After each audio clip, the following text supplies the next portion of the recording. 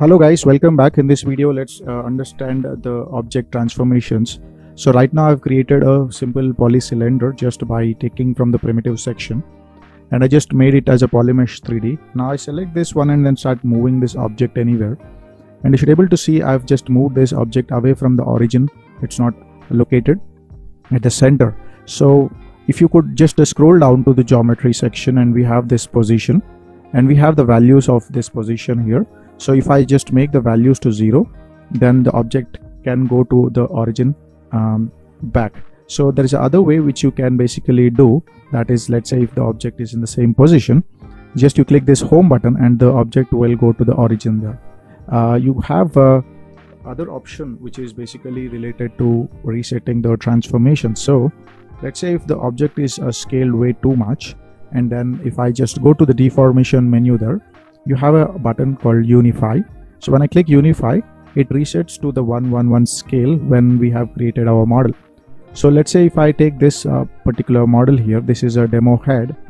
So we have subtools in it. So if I let's say select the subtool and then if I have to reset it uh, to the home it's reset. Let's also try um, I'll, I'll just enable the transparency so that uh, if any changes happen to any subtools we can clearly see so I go to the unify button and then just click it and you should able to see there is a slight scale uh, which was happened to this model and that could be seen there. I go to the subtool uh, eyes and then you should able to see the eyes are in the center. Again if I hit the home button uh, it's uh, exactly at the same place. You can just go to this uh, location here and then change the values to zero. It's uh, resetting there. Okay. Let me just undo. Click home button uh, the pivot point is actually at the uh, right location. Let's say if i hold uh, alt and then click on the location it will um, you know go to the center of the bounding box. Now when you click home button it goes there.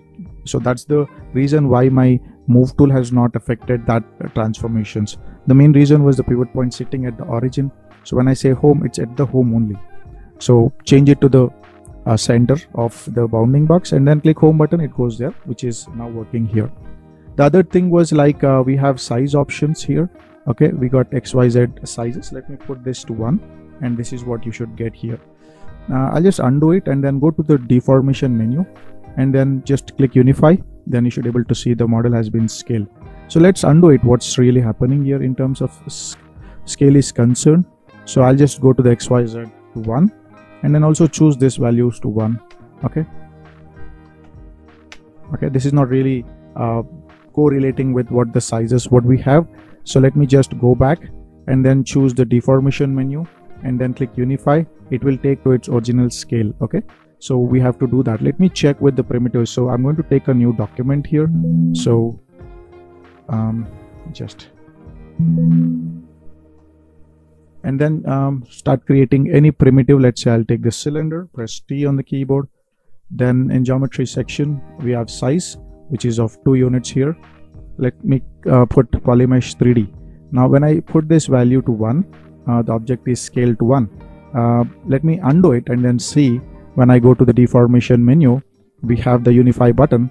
Okay it's not doing any change because that's uh, the standard size of uh, that model. Uh, so let me try the other primitive which is again sphere which is having a radius of one unit the diameter of two units there and then um, if I go to the deformation unify let me try polymesh 3d oh sorry. I'll take the sphere. Just to make the polymesh 3d and then unify it. It's not doing any change. And then go to the size options. It's two units. Uh, so two units is its standard size where my unify model is doing it.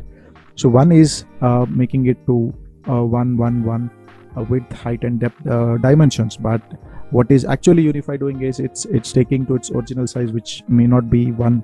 So that you need to understand when it comes to size here okay?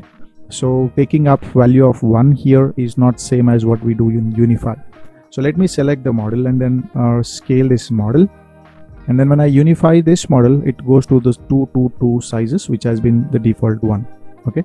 So that's what the size and position uh, resetting does and uh, we can do that from our move tool manipulator which is the home button. And then we have unify which is going to scale our model to the default uh, settings. Okay? So these are some tools you should really know when you're dealing with transformations